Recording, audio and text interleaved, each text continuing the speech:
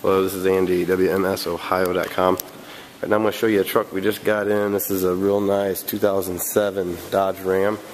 This is a 2500, 112,000 miles on it. Does have the Cummins turbo diesel. It is a heavy duty.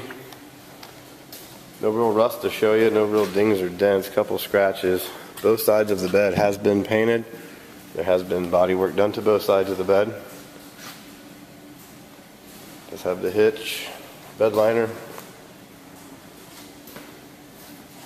I call the tires 80 to 90 percent.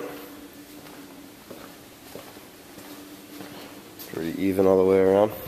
Minor staining on the interior, nothing too major. Typical truck. Couple little marks in the seats. This four-wheel drive does have the shifter on the floor for the four-wheel drive. AC, CD, power windows, and power locks. Back here is just as clean, if not cleaner. There's a mark on the back of this seat where a tire had been laying against it from a previous owner.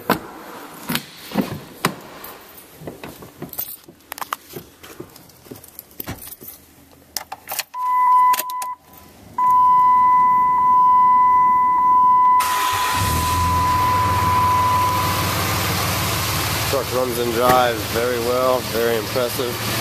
Does have some aftermarket work done to it. Make sure you view all the pictures, read the description and the inspection sheet. We'll list anything we know for sure in there. Again, this is Andy with WMSOhio.com showing you an 07 Dodge Ram 2500 Cummins diesel at 112,000 miles.